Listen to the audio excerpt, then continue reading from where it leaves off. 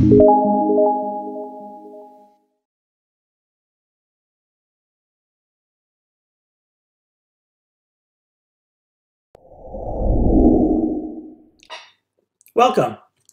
In this video, we are going to do a basic walkthrough of the chart in the Meditech Expanse system. You will notice that I am accessing the EMR from a web browser. The EMR can be accessed with any device, including mobile devices such as an iPad or an iPhone.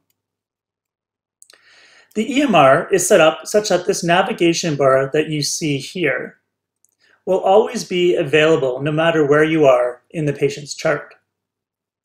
Here, you can quickly jump into different sections of the EMR, such as the document section, the orders section, and the discharge section of the patient's chart. When you first go into the chart, you are defaulted into the Summary tab.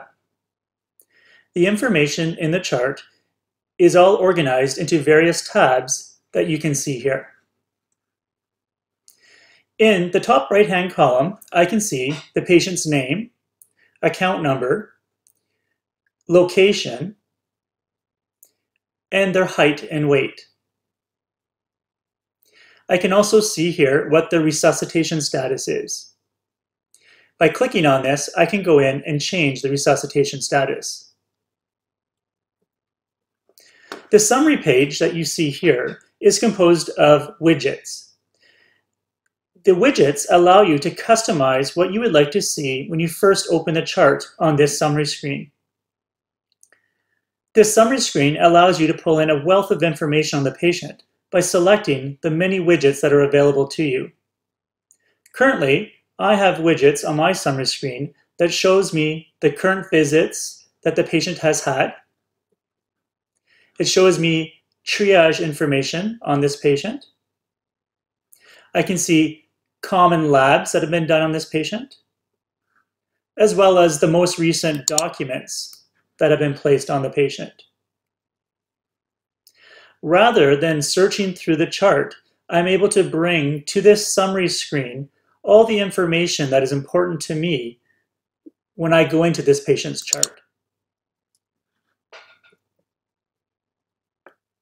The tabs above allow you to go into different sections of the patient's chart.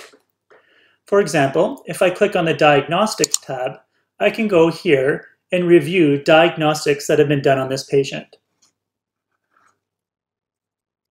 If I click on the Nurse and Allied Health tab, here I can go and look at nursing documentation or allied health documentation that has been done on this patient.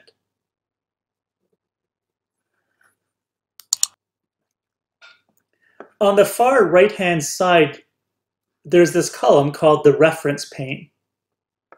This column stays static in this location no matter what part of the chart you're in.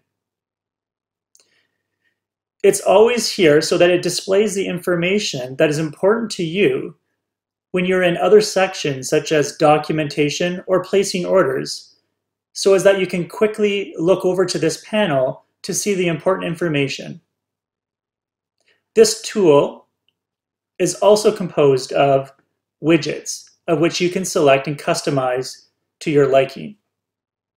You will notice that when I go into the order section of the chart, this reference pane remains here. This becomes very handy when you're documenting on the patient and wanting to look at such information as their allergies, their home medications, and their past medical history.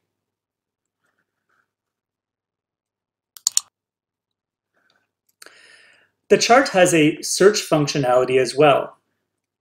The search functionality will search the patient's chart for discrete data that you are wanting to find.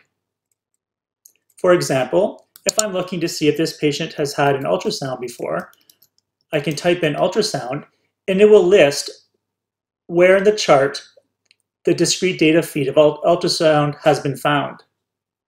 Here, I can click on this and it'll directly bring me to that ultrasound report.